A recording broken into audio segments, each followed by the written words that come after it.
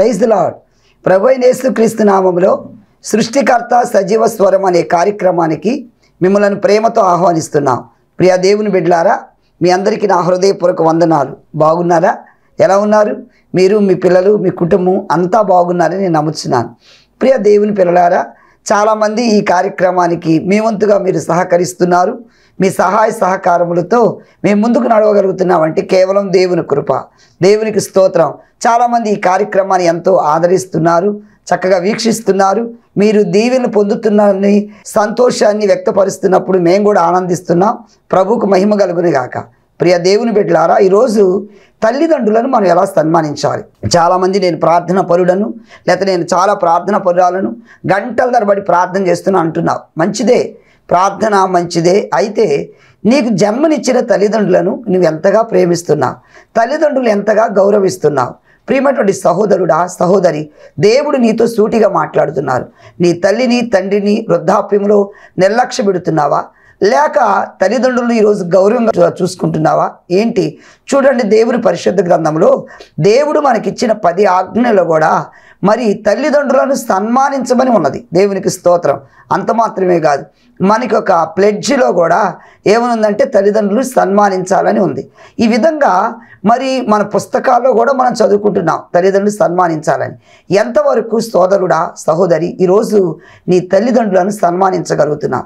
తల్లిదండ్రులు వృద్ధాప్యంలోకి వచ్చేలేకే వారు ఖాళీ చేయి పని చేయని స్థితిలో వారిని ఎంతో నిర్లక్ష్య పెట్టేవాళ్ళు చాలామంది ఉన్నారు. కొంతమంది అయితే బ్యాడ్ లక్ ఏంటంటే తల్లిదండ్రులను అనాథాశ్రమంలో చేర్పించేవాళ్ళు ఉన్నారు. ఎందుకంటే నా భార్యకు వీళ్ళంటే ఇష్టం లేదు.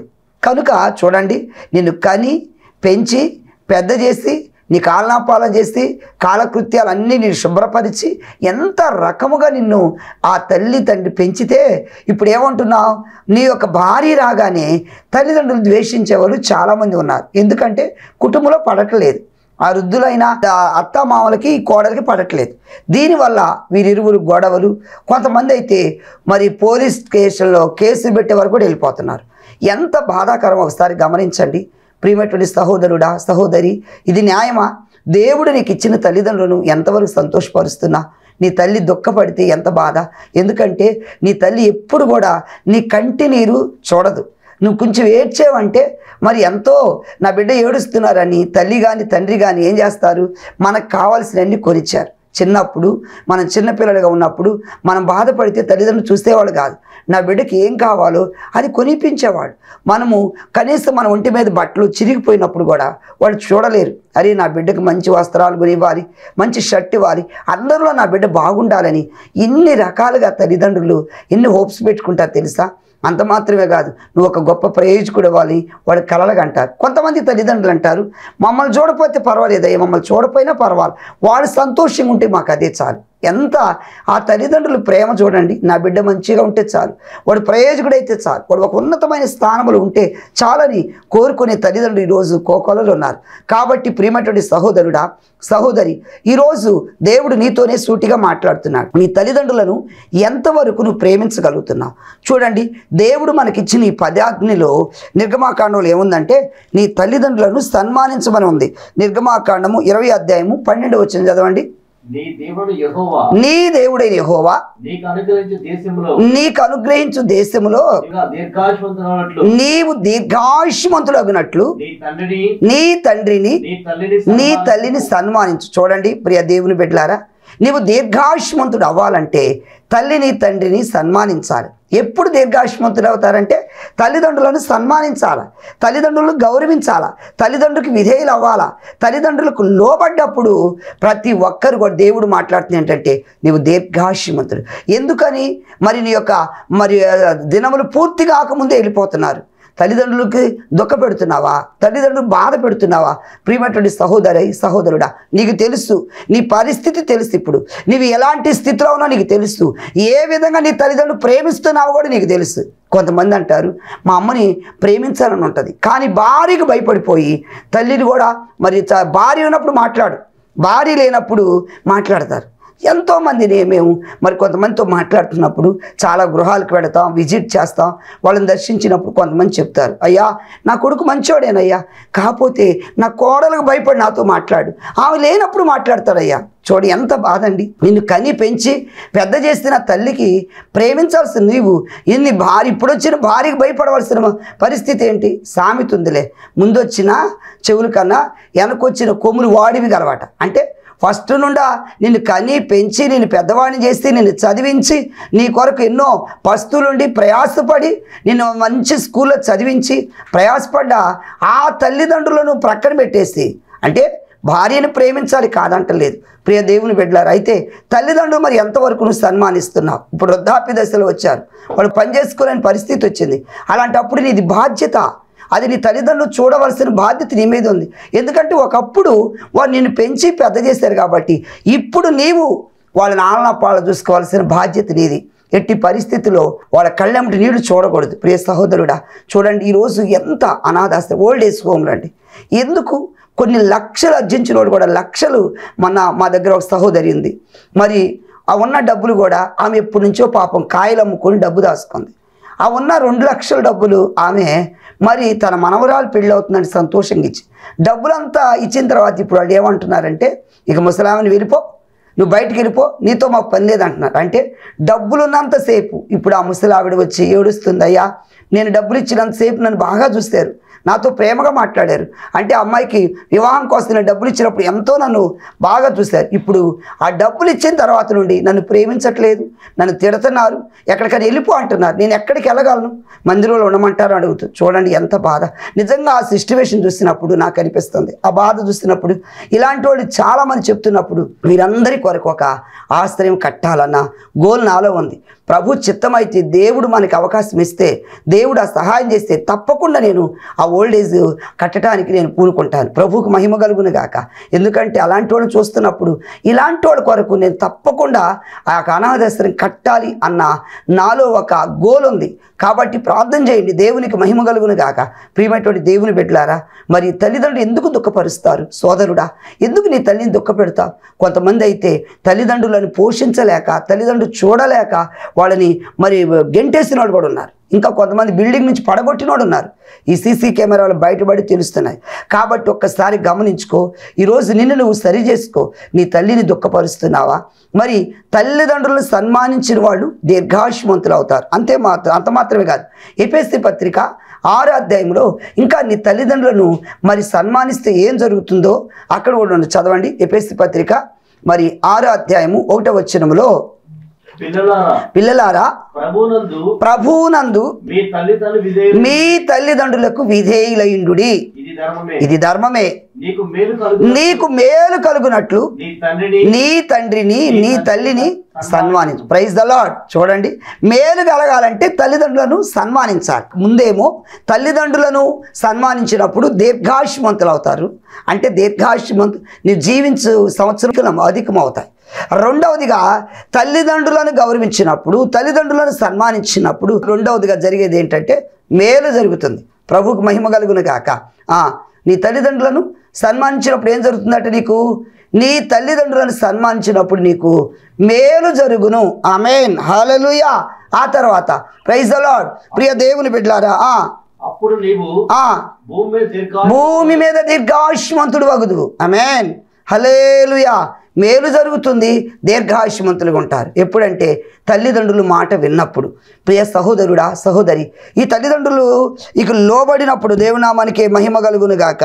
ఇంకా దేవుని పరిశుద్ధ గ్రంథంలో తల్లిదండ్రులకు మరి నువ్వు విధేయుడు అయితే దీర్ఘాయుష్మంతులు అవుతావు తల్లిదండ్రులకు లోబడితే తల్లిదండ్రులు సన్మానిస్తే మేలు జరుగుతుందన్నారు. ఇంకా దేవుని వాక్యలు కొలసి పత్రికలో చూడండి ఏమనుందో? మూడో అధ్యాయము ఇరవై వచ్చిన చదువుదా. నీ తల్లిదండ్రుల మాట నువ్వు వినాలి. ప్రైజ్ ద లాడ్ పిల్లలారా అన్ని విషయములో అన్ని విషయములో మీ తల్లిదండ్రుల మాట వినుడి. మీ తల్లిదండ్రుల మాట వినుడి. ఇది ప్రభువుని బట్టి దేవునికి మహిమ కలుగును గాక. ఏమంటున్నారు? దేవుని యొక్క ప్రభువును బట్టి మీ తల్లిదండ్రుల మాట వినుడి. వింటున్నావా సోదరుడా? నీకు తెలుసు నీ మనస్సాక్షి నేను గద్దిస్తుంది. తల్లిదండ్రుల మాట వినకుండా తల్లిదండ్రులు దుఃఖపరిస్తే లోయ కాకులు పీక్కు తింటాయని సామెతల గ్రంథంలో ఉంది. ఈరోజు నువ్వు తల్లిదండ్రులకి ఎక్కడ దుఃఖం కలగజేస్తున్నావు? తల్లి సామెతలు ముప్పై పదిహేడు ఏమనుంది? తల్లిదండ్రులను దుఃఖపరిస్తే తల్లిదండ్రులు బాధ కలిగిస్తే తల్లిదండ్రులను అవమానపరిస్తే తల్లిదండ్రులు దూషిస్తే ముప్పై అదే పదిహేడు వచ్చింది. ఏముందంటే ప్రైజ్ ద లార్డ్ హల్లెలూయా వ- తండ్రిని అపహసించి తల్లి మాట వినలను తల్లి మాట విననలని వారికి వారి కన్ను కన్ను లోయ కాకులు పీక్కు తిన్ను చూడండి ఎందుకంటే ప్రియమైనటువంటి సహోదరుడా మరి నీ తల్లి మాట వినకుండా తల్లికి విధేయుడవకుండా నువ్వు జీవిస్తున్నావా? జీవిస్తే నీ పరిస్థితి ఏంటో తెలుసా? లోయ కాకులు పీకుతాయంటాను. అంత మాత్రమే కాదు సామెతలు ఇంకా ఏమనుందంటే ప్రైజ్ దలాడు హల్లెలూయా. చూడండి ఇంకా సామెతల గ్రంథం ఇరవై అద్దె ఇరవై వచ్చినలో కూడా ఏమనుంది అక్కడ? ప్రైజ్ దలాడ్ హాలలుయా తన తండ్రినైనను తల్లినైనను దూషించి వారి వాని దీపము అదిగో తల్లినైనా తండ్రినైనా దూషించు వారి దీపము కారు చీకట్లో ఆరిపోతుంది. ఎందుకంటే మరి ప్రియమైనటువంటి సహోదరుడా తల్లిదండ్రులు మన మీద ఎన్నో హోప్స్ పెట్టుకుంటారు కదా. చిన్నప్పటి నుండి మా బిడ్డ ఏ తల్లిదండ్రులు సంతోషంగా చెప్తారు. ఏమంటారు? మా కోడలు వస్తుంది. నా కోడలు వచ్చిన తర్వాత నేను సుఖపడతాను. ఇలా వాడి సంభాషణ ఎలా ఉంటుందంటే వాళ్ళు ముచ్చటించుకుంటూ ఆ ఇరుగు పొరుగు వాళ్ళు మాట్లాడుకునేటప్పుడు నా కోడలు వస్తుందమ్మా. చక్కగా అత్తయ్య గారు అంటదని. వాళ్ళు సంభాషణ ఎలా ఉంటుందంటే పెద్దవాడు వాడు ఎంతో సంతోషంగా కొంతమంది ఆ సంతోషం కొద్ది నిమిషం కూడా ఉండదండి. ఆ కోడలు వచ్చిన తర్వాత తెలుస్తుంది ఆమె గయ్యాళి ఆమెని ఆమె సరిగ్గా చూడదని ఆమె సరిగ్గా అన్నం పెట్టదని. మరి ఎంత బాధాకరంగా ఉంటుందో తెలుసా? ప్రియమైనటువంటి సహోదరుడా ఎప్పుడు కూడా నీ తల్లిదండ్రులు నిర్లక్ష్యం చేయొద్దు. అలాగే ఇద్దరు భార్యాభర్తలు ఉన్నప్పుడు కొడుకుకి తల్లి అంటే ప్రేమే. కానీ భార్య ఏమంటుందంటే మీ అమ్మ ఇంట్లో ఉంటే నేను ఉండను. మీ అమ్మ కావాలా నేను కావాలా? నువ్వే తెలుసుకున్నప్పుడు ఇక ఏం చేస్తాడు? భార్య మరి ఇటు చూస్తే వృద్ధాప్యం తల్లి. ఎటు తల్లి? తల్లి అంది నాయనా నా గురించి మీరిద్దరు ఎందుకు కొట్లాడుకుంటారు? నేను ఎటు వృద్ధాప్యులు ఉన్నాను? నేను ఈ రోజు రేపు వెళ్ళిపోతాను. నేను ఎక్కువ కాలం బ్రతకను కాబట్టి మీ ఇద్దరు యవనస్తులు మీరు సంతోషంగా ఉండండి అయ్యా. నా గురించి వద్దు. దయచేసి నన్ను ఏ అనాథాశ్రమంలోనో ఎక్కడో వదిలిపెడితే నేను బ్రతుకుతానయ్యా అంది. అప్పుడు కోడలు అంటుంది అనాథాశ్రమంలో ఎక్కడొక్కడొద్దు వెళ్ళి అడవిలో వదిలిపెట్టేమని ఇక ఇలా ఉన్న ఫలాన్ని ఈ తల్లిని ఒక మంచం మీద ఎక్కించుకొని ఆమెని పైన కూర్చోబెట్టి తీసుకుని వెళ్తా ఉన్నారు. అడవిలో గుండా పెడుతున్నప్పుడు తల్లికి ఒక ఆలోచన వచ్చింది. ఈ మంచం మంచం అలాగ ఎత్తుకొని మరి కొంతమంది పట్టుకొని ఆ మంచం పలంగా తీసుకొని వెళ్తుంటే వీళ్ళందరూ ఊహ ఏంటంటే ఈమె ఎక్కడ ఇంక తిరిగి రాకూడదు. బాగా ఎక్కడో అరణ్యంలో వెళ్ళి వదిలిపెట్టాలని ఆలోచన చేసి ఆ ముసలామెను తీసుకొని అలా వెళ్తున్నారు. తల్లికి ఆమె వెళ్తున్న దారి పొడుగుతా చెట్ల ఆకులు అన్ని పువ్వులు ఏముంటే అన్ని కోస్తా ఉంది. ఆమె అలా కోసుకుంటూ దారి పొడుగుస్తున్న అలా వేసుకుంటూ వెళ్తుంది. వీళ్ళకి అర్థం కాల. ఈ యొక్క మోసేవాడు ఈ కొడుకు ఏంటి అసలు మా అమ్మ దారి వెళ్తూ ఉంది కానీ ఆకులన్నీ తెంపేస్తుంది పూలన్నీ కోసేస్తుంది కనబడ్డాయన్నీ పోన్లే ఈ రోజుతోగా ముసలం అయిపోతుంది కదా ఈ పని. ఇక ఎలాగల ఆమె కోసుకొని ఏం చేసుకుంటుందని వెళ్ళారు. వెళ్ళి అడవిలో బాగా కొంత దూరం వెళ్ళిన తర్వాత అడవిలో ఇంకా ఎవరు మనుషులు జనసాంద్రత లేని చోట అక్కడ ఆ ముసలమ్మని దించి అమ్మ ఇళ్ళొస్తాను. మరి నా పరిస్థితి అర్థం చేసుకో. ఇక నువ్వు ఇక్కడే ఉండు ఈ అడవిలో నుండు ఏ కాయో ఏని తిని ఎలాగుండు అని చెప్పి వాళ్ళ అమ్మకి సరేనమ్మా నేను వెళుతున్నాను అని వెళ్ళి చెప్పి వస్తున్నారు. అప్పుడు తల్లి అంది ఆగు నాయన ఆగు. అమ్మా మరి సరే నేను ఒకటి అడుగుతాను అన్నాడు. ఏం నాయన అడుగంటే ఆ మాట చె మరి ఇందాక వచ్చేటప్పుడు ఆ చెట్లన్నీ కూడా కాయలు తర్వాత పూలు తర్వాత చెట్ల ఆకులు అన్నీ కోసుకుంటూ దారి పొడుగుట్న వేసుకుంటూ వచ్చావు కదా? ఎందుకని అవన్నీ అలా దారి పొడుగుట్న వేసుకుని వచ్చావంటే? అప్పుడు తల్లి అంటుంది నాయనా నేను ఎటు ముసలిదాన్ని? నేను వృద్ధాప్యంలోకి వచ్చాను. నన్ను ఏ దుష్ట మృగాలు ఇక్కడ ఏ మృగాలు నన్ను చంపేయచ్చు? ఏ సింహమో పులో అని చంపేయచ్చు? కానీ మరి నువ్వు ఎలా వెళ్తావు నాయన? వెళ్ళేటప్పుడు తిరిగి ఇంటికి వెళ్ళాలి కదా? నా కొడుకు దారి తప్పిపోకూడదు. నా కొడుకు ఏ దుష్టమృగానికి బలవ్వకూడదు అందుకని నీకు దారి తెలియక ఎలాగైనా పొరపాటును వెళ్ళిపోతావేమో ఇంకొక మార్గం వెళ్ళిపోతావని నేను కుమిలిపోతున్నాను నాన్న. అందుకే నా బాధ. నువ్వు ఇంటికి చక్కగా వెళ్ళాలని నేను కోరుకుంటున్నానయ్యా. నువ్వు మంచిగా వెళితే నాకు అదే చాలు. నేను ఇక్కడ ఏమైపోయినా పర్వాలా? నీవు నీ భార్య సంతోషంగా ఉండాలయ్యా. నువ్వు సంతోషంగా క్షేమంగా ఇంటికి చేరాలని నేను ఆ భగవంతుని ప్రార్థన చేస్తున్నాను అందుకే నాయన ఈ ఆకులన్నీ కోసుకొని దారి పొడుగు పరుచుకుంటూ వచ్చాను. అందుకే ఇవన్నీ కోసాను. తిన్నగా ఎక్కడైతే ఆకులు కనబడతా ఉంటాయో అదే ఆ ప్రకారం వెళ్ళిపోనాను ఇంటికి అని తల్లి ఏడుస్తుంది. చూడండి. తల్లి ప్రేమ. ఎంత ప్రేమ అండి. ఆ దృశ్యం ఆ మాట విన్న తర్వాత హృదయం పగిలిపోయింది అతనికి. అయ్యో ఇంత ప్రేమించే తల్లికా నేను ద్రోహం చేసేది? నా తల్లి నా కోసం చూడండి. ఆమె చనిపోతున్న స్థితిలో ఉన్నా సరే ఆమె యొక్క దుష్టమృగాలకి ఆ అడవిలో అరణ్యములో ఏమైపో తెలియదు అయినప్పటికీ ఆమె గురించి ఆలోచించట్లా. ఆమె దుఃఖము ఆమె బాధ ఆమె ఏడ్పు నా కోసమే కదా అని పశ్చాత్తాపం వచ్చింది హృదయములు. అమ్మా నన్ను క్షమించమ్మా. ఈ రోజు నుంచి నేను మంచిగా చూసుకుంటానమ్మా. ఆ తల్లిని కౌగిలించుకొని ఏడవటం మొదలుపెట్టాడు. ప్రియ సహోదరుడా చూడండి మరి ఒక ఇక స్టోరీ ఈ కథ విన్నప్పుడు నీ హృదయంలో బాధగా లేదా? నీ తల్లిని దుఃఖపెడుతున్నావా? ఎందుకంటే సామెతలు గాను పదే అధ్యాయము ఒకటో వచ్చిన ఏమనుంది? జ్ఞానం కలిగిన కుమారుడు తన తండ్రిని సంతోషపరుస్తాడు. బుద్ధి లేని కుమారుడు తల్లికి దుఃఖం కలిగిస్తాడు. నువ్వు దుఃఖం కలిగించి పుత్రుడిగా ఉన్నావా? తల్లికి బాధ కలిగించి కొడుకుగా ఉన్నావా? సోదరుడా ఒక్కసారి ఆలోచించు. ఎందుకంటే ఇప్పుడు ప్రతి ఒక్కరు కోరుకునేది ఏంటంటే ఎవరిని అడగని? కొంతమంది గర్భవతులు ఉన్న సహోదరులు వాళ్ళ దగ్గర ప్రార్థించడానికి వెళ్ళినప్పుడు వాళ్ళు అడుగుతూ ఉంటారు పాస్టర్ గారు నాకు బాబు పుట్టాలని ప్రార్థన చేయి. ఎందుకు?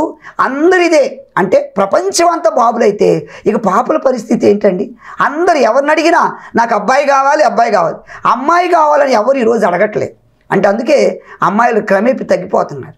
నాకు అమ్మాయి కావాలి ప్రార్థన చేయని అంటలా ఎవరు అడిగినా ఎవరు కోరుకున్నా అబ్బాయి కావాలి. చూడండి ఒక సహోదరి అంది నాకు అబ్బాయి పుడితే మీకు బట్టలు పెడతాను పాస్టర్ గారు అంది. ఆడ భర్త అంటాడు ఏ అబ్బాయి పుడితే పెడతా అమ్మాయి పుడితే పెట్టవా?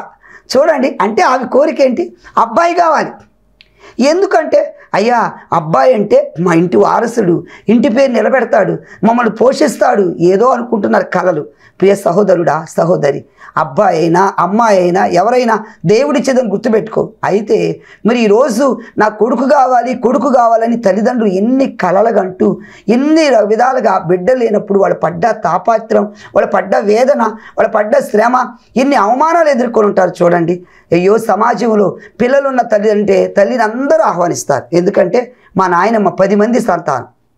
అందుకని అందరూ పిల్లల గల తల్లి పిల్లల గల తల్లి మీరు చిన్నపిల్లలప్పుడు అందరూ ఆమెను పిలుస్తారు. ఏ శుభకార్యాలు జరిగినా ఎక్కడ వివాహాలు జరిగినా ఫస్ట్ ఆమెను పిలిచేవాడు ఏంటంటే పిల్లల గల్లామని ఈరోజు అంటే చూడండి సమాజంలో ఎలా ఉందంటే పిల్లలు లేని వాళ్ళకి ఒక అవమానాలు ఎదుర్కొంటున్నారు. పిల్లలు లేని వాళ్ళని ఒక తక్కువగా చూస్తున్నారు. గొడ్రాలుగా దూషిస్తున్నారు.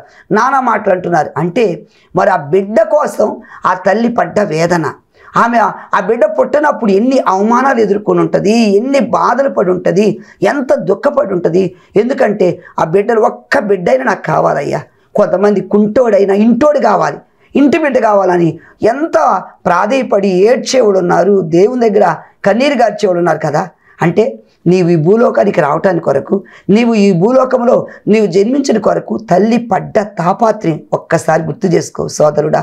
అంటే మన కోసం నవమాసాలు ఆ తల్లి గర్భాన్ని మోసి అంటే ఆమె పడ్డ ఆ ప్రసవ వేదన ఆ బాధ ఆ వేదన ఆ కష్టం అన్నీ మర్చిపోతుంది. భూమి మీదకు నువ్వు రాగాలి నువ్వు పుట్టగానే ఆ బిడ్డ పుట్టాడన్న సంతోషం మామూలుగా ఉండదు. అప్పుడు దాకా ఆ తల్లి ప్రసవ వేదన ఎంత బాధపడుతుంది.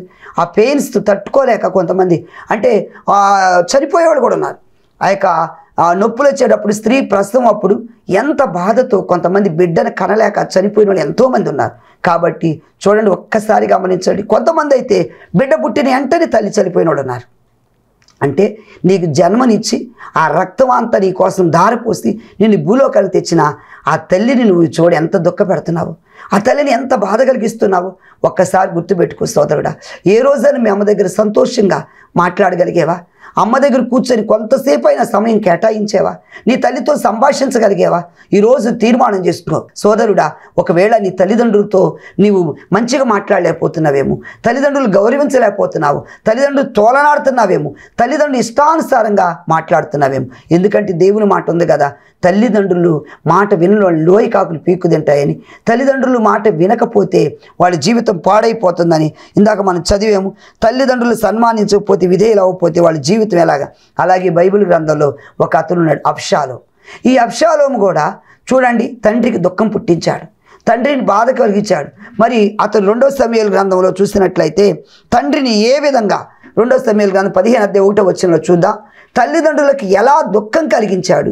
తల్లిదండ్రులకు ఏ విధంగా బాధ కలిగించాడు? ఆ తండ్రికి ఎలాంటి దుఃఖపుత్రుడిగా ఉండగలిగాడు? చూసినట్లయితే ఈ పదిహేను అధ్యాయం అధికారం కోసం ప్రాకులాడటం. అంటే ఏ విధంగా వచ్చిన వాళ్ళందు రాజుగారి దగ్గర అందరూ వస్తుంటే అందరూ ఆయన దగ్గరికి రావాలని. అంటే తండ్రిని కలవటానికి వస్తుంటే అందరూ ముందుగానే వాళ్ళ నాన్నగారి దగ్గరికి వెళ్ళేటప్పుడు ఆ యొక్క కోటలో ప్రవేశించే ముందుగానే ఈయన ఈయన దగ్గరికి వెళ్ళి అందరితో మంచిగా మాట్లాడి నటించటం సెకండ్ తీసుకోవటం అందరిని ఆకట్టుకోవటం ఆకర్షించి అంటే వీళ్ళ గురించి అంటే తప్పుడు సమాచారం తండ్రి గురించి కూడా ఇవ్వటం నేనైతే ఎలా ఉంటుంది రాజు గాని వాడిని కనుక్కోవటం ఇట్లా ప్రియ సహోదరుడా ఆ తండ్రికి చాలా బాధ కలిగించాడు. పైగా తండ్రిని చంపటానికే ప్లాన్ వేశాడు. చూడండి ఎంత దౌర్భాగ్యం అండి. అంటే ఈరోజు ఆస్తుల కోసం ధనం కోసం తల్లిదండ్రులను మరి దుఃఖపెట్టేవాళ్ళు చంపేవాళ్ళు నా ధనం నాకు ఇచ్చేయి నా ఆస్తి నాకు ఇచ్చేయి అని ఎంతమంది పోరాడినోళ్ళు లేరు. అలాగే ఈ అప్షాలం కూడా చూడండి చాలా బాధ కలిగించాడు. చదవండి అక్కడ. మరి రెండవ సమయాలు కానీ పదిహేను ఒకటో వచ్చినంలో ఇది అయిన తర్వాత ఒక రథమును సిద్ధపరిచి ఏర్పరచుకొని ఉదయమున లేచి ఉదయమును లేచి బయలుదేరి ఆ పట్టణ గుమ్మ గుమ్మ ఒక నిలిచి నిలిచి రాజు చేత తీర్పునందుకై ఆ. వ్యాజ్యమాడు వారైన వచ్చి ఉండగా వచ్చి ఉండగా కనిపెట్టి ఆ. వారిని పిలిచి వారిని పిలిచి నీవు ఏ ఊరు వాళ్ళని అడుగుచుండేను? అడుగుచుండెను. నీ దాసుడే నేను నేను ఇస్రాయేల్ గోత్రంలో ఇస్రాయేల్ గోత్రములో ఫలాని దానికి చేరిన వాడనని వాడు ఆ. చెప్పగా ఆ. అప్షాలోము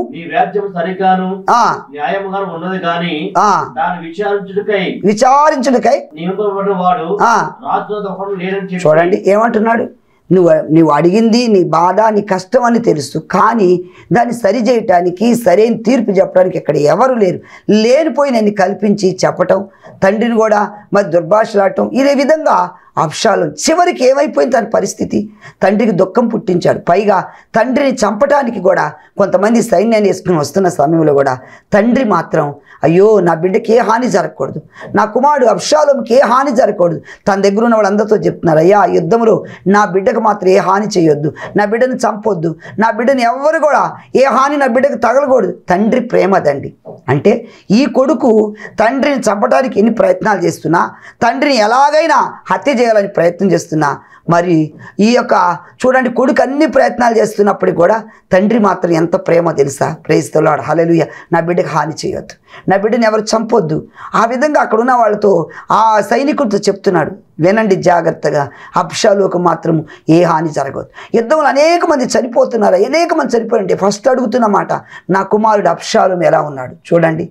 ఎంత బాధ అండి. కొంతమంది తీసుకొచ్చిన వార్త రాజా ఎంతోమంది చనిపోయారు. యుద్ధంలో హతులైపోతున్నారు. మరి అన్న అంటున్నా. ఫస్ట్ అడుగుతున్న మాట ఏంటంటే అప్షాలం ఎలా ఉన్నాడు? హల్లెలూయా అంటే తండ్రి కొడుకు క్షేమం విచారిస్తున్నాడు. ప్రియమటువంటి సహోదరుడా మరి ఈరోజు అంటే మన తండ్రి మన కోసం ఎంత విచారం? మా నాన్నగారు కూడా. మా నాన్న కూడా ఎప్పుడు నా గురించి విచారించేవాడు. అయ్యో బిడ్డల గురించి నా బిడ్డ ఎలా బ్రతుకుతాడు ఏంటో చిన్నప్పటి నుంచి కూడా నా గురించే దేవునికి స్తోత్రం. నేను చెప్పేవాడిని నాన్న మీరేం బాధపడొద్దు. నీవేం భయపడాల్సిన పని లేదు. నేను ఎలాగే మిమ్మల్ని అందరూ పోషిస్తాననేవాడు మా నాన్న బాధ ఏంటంటే నా చిన్న కొడుకు ఎలా బ్రతుకుతాడో చిన్న కొడుకు పాపం ఏం తెలియదు అని ఆయన బాధ తల్లిదండ్రులు ప్రేమ చూడండి. ఆయన ఎప్పుడు చూసినా కూడా నా గురించి ఆలోచించేవాడు. ప్రియమైనటువంటి దేవుని బిడ్డలారా తల్లిదండ్రులకు మన మీద ఉన్న ప్రేమ లాంటిదండి కాబట్టి ఒక్కసారి నువ్వు గుర్తుపెట్టుకో నీ తల్లిది నీ తండ్రిని దుఃఖపరుస్తున్నావా? ఒకసారి సోదరుడా నీ తల్లితో ఎన్ని రోజులైంది ప్రేమగా మాట్లాడి? నీ తండ్రితో ఎన్ని రోజులైంది ప్రేమగా మాట్లాడి? వాళ్ళు ఎంత అంటే నువ్వు మాట్లాడగలి వాళ్ళ కళ్ళెంటి ఆనంద బాష్పాలు వచ్చేస్తాయి. నా కొడుకు మాట్లాడాడు ఈరోజు నా కొడుకు ఎంతో ప్రేమగా నాతో మాట్లాడగలిగాడు.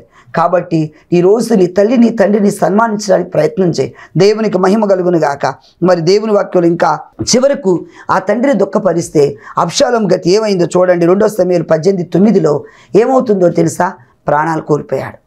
ఎంతో వేగముగా పరిగెత్తుతున్న సమయంలో ఆ మస్తికి వృక్షాల్లో ఆ జుట్టు బాగా అందమైన జుట్టు ఈ జుట్టుతో చాలా పొడవైన జుట్టు ఆయనకి ఇంకా గర్వము. ఈ జుట్టు ఆ వృక్షాలు చిక్కుకొని ఆ కొమ్మలు పైన వేలాడుతున్నాడు ఈ లోపు రానే వచ్చారు శత్రువు బాణం వేశారు చంపేసేశారు. చూడండి ప్రియ దేవుని పెట్టలారా ఆ గాడిది కూడా సాగిపోయింది వెళ్ళిపోయింది. కానీ తండ్రికి వార్త తెలిసినప్పుడు తట్టుకోలేకపోయాడు. అయ్యో నా కుమారుడు అప్షాలు నీకు బదులుగా నేను చనిపోతే ఎంత బాగుండును? ఆ రెండో సమయం పద్దెనిమిది అధ్యాయంలో తొమ్మిదో వచ్చిన చూస్తే ఆయన మృతుడైపోయినప్పుడు ఆ తండ్రి ఎంతో నీకు బదులుగా నేను చనిపోయినా బాగుండేది అప్షాలోం అంటున్నాడు. ప్రైజ్ ద లాడ్ హలలుయ కాబట్టి ప్రియ దేవుని బిడ్డలారా మన తల్లిదండ్రులు సంతోషపరచాలి. సామెతల గ్రంథం పదిహేను అధ్యాయం ఇరవై వచ్చిన ఏముంది? చివరిగా దేవునికి మహిమ కలుగును గాక. జ్ఞానం గల కుమారుడు. జ్ఞానము కలిగిన కుమారుడు సంతోష సంతోషపెట్టును. బుద్ధిహీనుడు. తిరస్కరించును. కాబట్టి ప్రియ సహోదరుడా నీ తండ్రిని సంతోషపరచు. బుద్ధి లేనివాడు మరి తల్లికి అపకీర్తి తెస్తాడు తిరస్కరిస్తాడని వాక్యం ఉంది కనుక. ఈరోజు తల్లిదండ్రులు సన్మానించడానికి నువ్వు ప్రయత్నం చేస్తావా? తల్లిదండ్రులు దుఃఖపెట్టే వ్యక్తిగా నువ్వు ఉన్నావా? దుఃఖపుత్రుడిగా ఉన్నావా?